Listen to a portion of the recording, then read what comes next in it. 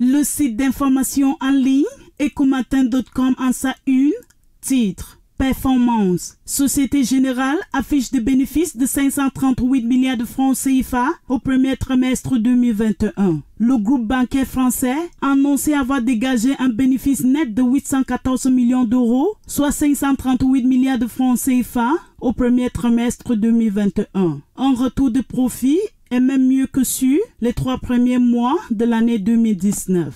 Investi au Cameroun, fait savoir que l'agro-industriel Cameroon Development Corporation prépare la construction de deux usines de production d'huile de palme et de caoutchouc. Business in Cameroon, titre placement des travailleurs. Le gouvernement met les entreprises en garde contre 86 structures non agréées. Le ministre camerounais de l'Emploi et de la Formation professionnelle, Issa Chiruma Bakari, vient de rendre publique une liste de 86 entreprises de travailleurs temporaires et offices de placement de travailleurs qui ne disposent plus d'agréments valides ou alors dont les agréments sont simplement suspendus. L'économie.com informe que les machines d'Atlantic Coco Corporation sont à l'arrêt depuis trois mois. Cette situation, fait savoir le journal, serait due au manque de matières premières. Combien de temps vont durer les sanctions de la Banque africaine de développement contre le Tchad? S'interroge tchadinfo.com.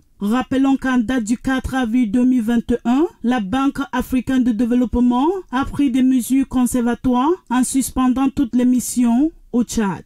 GabonReview.com titre 200 millions de francs CFA pour doter le Gabon de l'aéroport le plus sûr d'Afrique centrale. La société Africom en République démocratique du Congo est appelée à justifier la somme de 232 millions de dollars dans l'affaire Bukanga Lonzo. Les fonds alloués au projet du parc agro-industriel de Bukanga Lonzo continuent de faire couler beaucoup d'encre dans l'opinion publique. C'est ce qu'indique ZoomEcho.net. Jeune Afrique, titre, croissance. Quand la Guinée fait mentir les provisionnistes. En 2020, la croissance du pays a même été revue à la hausse à 5,2%. Une surprise compte tenu de la conjoncture mondiale et qui semble vouloir se confirmer cette année. WIS Capital et WIFond, un fonds du Fonds souverain d'investissement stratégique du Sénégal, et United Nations Capital Development Fund ont investi 243 millions de francs CFA dans Bourreau